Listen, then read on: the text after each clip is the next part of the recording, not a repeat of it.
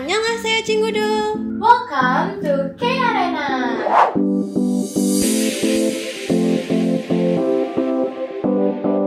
Gimana nih Cinggudul episode kemarin? Pasti Cinggudu gak nyangka banget kan kita bisa beda banget di episode sebelumnya. Iya, tapi serem banget, Fa, kalau kita terus-terusan begitu. Oh ya, Fa, gue tuh lagi suka banget loh sama lagu-lagunya Blackpink. Iya, lagu-lagu Blackpink tuh emang enak-enak banget, Cak. Gak heran deh pokoknya kenapa mereka bisa masuk top Iya, walaupun mereka jarang banget comeback ya, tapi sekali comeback mereka tuh langsung boom. Iya, Cinggudu bangga banget gak sih kalau misalnya idol-idol kesayangan kita dapat trofi. Nah, kalian mau tahu nggak gimana sih cara mereka mendapatkan trofinya itu? Hmm, perhitungan top chartnya tuh gimana juga ya kira-kira? Nah, daripada Cinggudu penasaran, gimana kalau misalnya langsung aja kita bahas?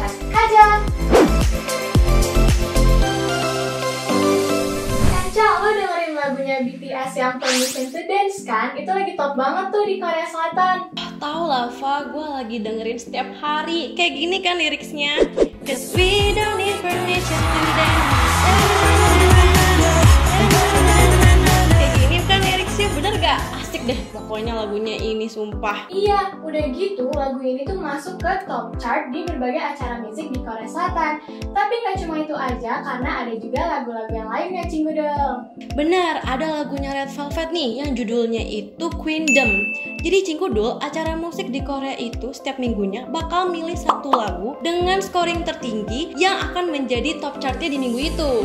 Nah, Cinggudel tahu nggak sih gimana scoring sistemnya di sana?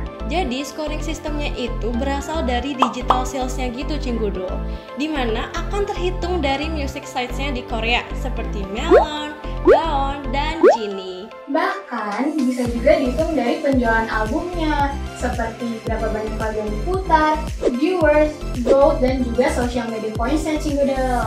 Yes, dan penyanyi dengan scoring tertinggi bakal dapet trofi deh Nah, kalau tadi kita udah bahas soal musik, sekarang kita bahas tentang dance yuk, Fa. Nah, kebetulan banget nih sekarang kita lagi kedatangan tamu spesial dari Kiori. Yeay, halo Kak! Halo semuanya, halo Cinggedol. Perkenalkan nama aku Wesley James, biasa dipanggil Wesley. Aku merupakan anggota dari Kiori dan aku dari jurusan jurnalistik tahun 2019. Salam kenal.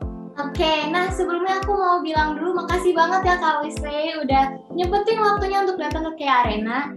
Nah, sekarang kita mau kepo-kepoin Kak Wesley, boleh dong? Boleh dong. Jadi, Kak Wesley ini tuh suka banget dance cover gitu, Cinggudul.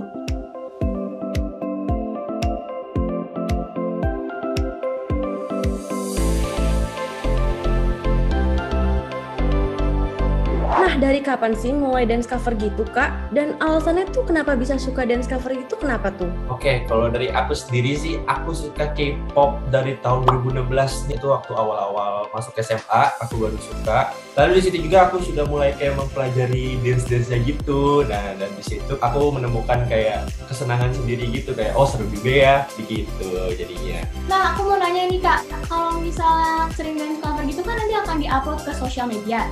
Gimana sih caranya biar bisa pede? Kalau dari aku sendiri sih harus enjoy dulu apa yang mau aku lakuin gitu. Dan dari situ kamu bisa menemukan satisfaction. Nah, di situ kamu bisa pede dengan sendirinya begitu. Wah, berarti kakak nih udah pede banget dong ya ngedance. Tapi pastinya kakak pernah dapat komentar negatif kan ya? Dan komentar negatif itu pasti bikin down banget gak sih kak? Gimana nih cara kakak ngatasin komentar negatif itu? Kalau kalau nanggepin komentar negatif, sebenarnya simple sih teman-teman. Caranya itu ambil aja poin pentingnya yang bisa membuat diri kamu untuk lebih baik daripada dance sebelumnya. Dan dari situ kamu bisa mendapatkan motivasi untuk melakukan dance yang lebih baik kayak gitu. Oke, berarti emang kalau mau dance itu membutuhkan pede yang besar ya. Betul. Nah mungkin nih coba dong tunjukin kill dance lo ke Cinggudul. Kebetulan ada Kak Wesley juga nih. Wah, boleh banget tuh, Ca. Eh, gimana kalau misalnya kita dance cover lagunya Hyoyeon yang baru, yang second? Let's go.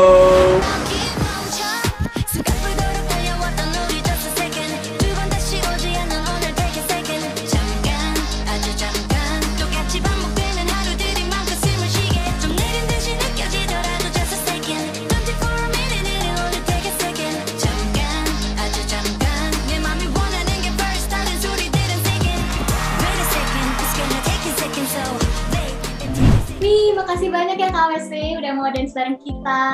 Terima kasih juga ke Arena yang udah mengajak aku ke acara kalian ya. Aku punya pantun nih untuk Cinggudul dan untuk Rafa sama Ica juga nih. Cheerio Itzy makan ayam sabana. Cakep. Semangat terus ke Arena. Dadah, yo.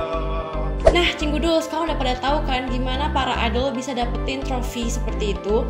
Makanya Cinggudul pantengin terus ke Arena biar bertambah informasi terus seputar Korea. Tapi Cinggudul sekarang sayang banget nih, ternyata kita udah sampai di penghujung acara. Iya nih, padahal masih pengen nyapa Cinggudul di rumah. Sabar Fa, kita bisa nyapa Cinggudul lagi di next episode yang gak kalah menarik. Nah, Cinggudul daripada kalian gabut nih nungguin ke Arena, mendingan kalian nonton kulik-kulik besok jam 7 malam hanya di channel YouTube Women TV. Sabar-sabar ya Cinggudul, sampai ketemu di episode selanjutnya. Ke Arena, feel the breeze of Korea.